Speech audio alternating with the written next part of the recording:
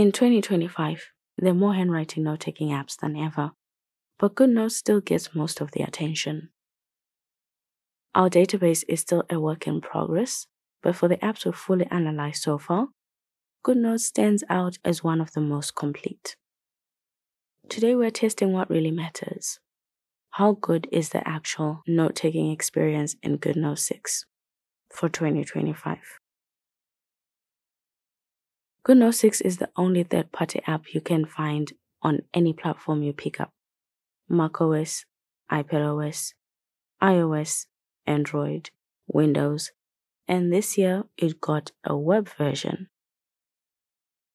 It is the most expensive handwriting note taking app on the iPad at $30 for a one time purchase.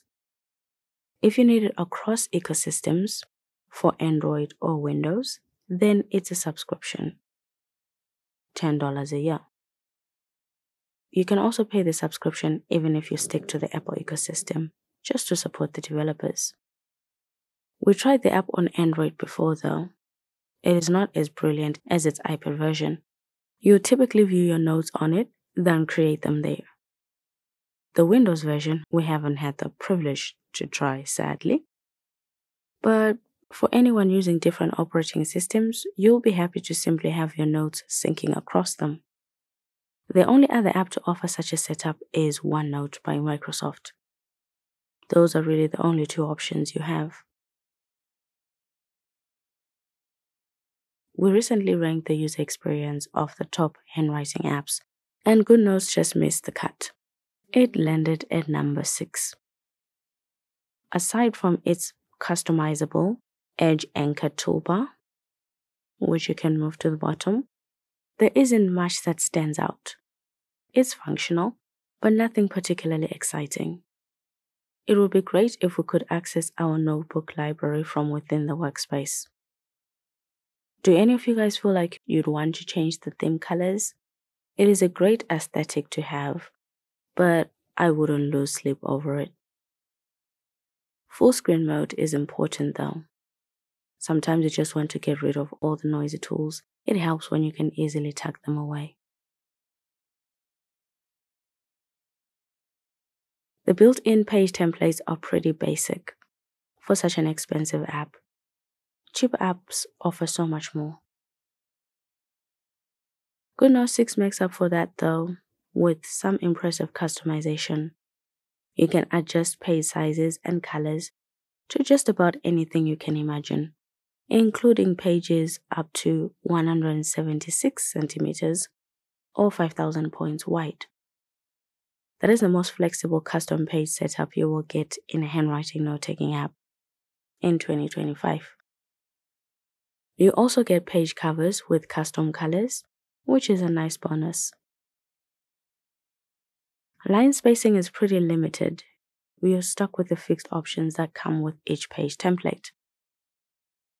They're not much, given how basic the page templates are to begin with. Custom page templates aren't great either. You can only save single pages from PDFs or images we should at least be able to save complete PDFs so we don't have to keep importing digital notebooks and planners that we use often. At least we can mix portrait and landscape pages in the same notebook.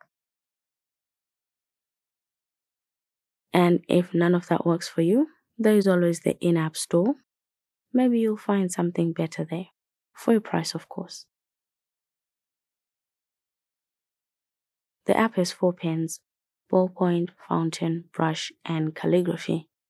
I can't decide which one I prefer between the fountain and brush pen.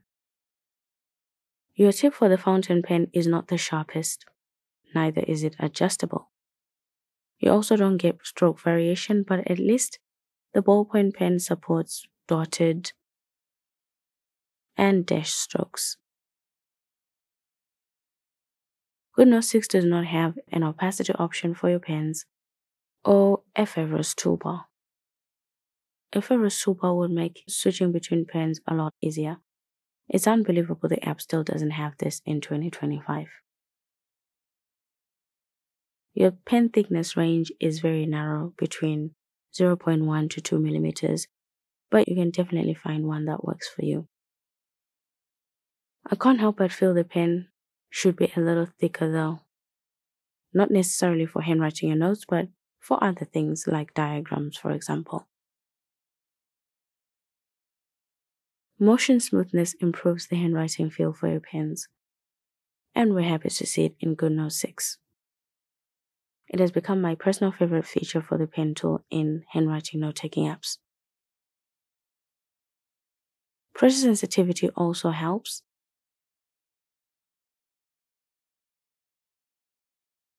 And you have a decent pencil and highlighter. GoodNote 6 now supports the scribble to erase gesture for your eraser. It is my least favorite feature because it's usually a hit and miss. Lately, it has been in good GoodNote 6, but not nearly as bad as it can be. You can erase per pixel and stroke. Auto deselect is available. Little is missing. You can also clear entire pages.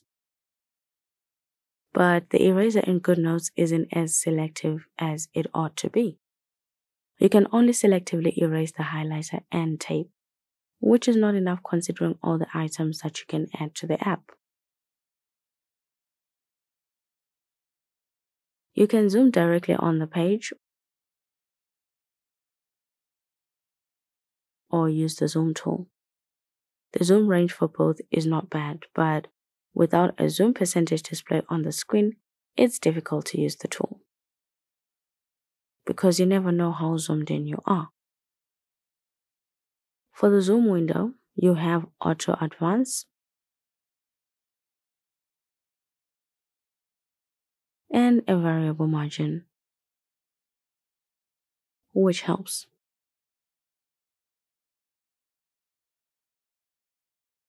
Using multiple pens in GoodNote 6 is still a huge pain in 2025.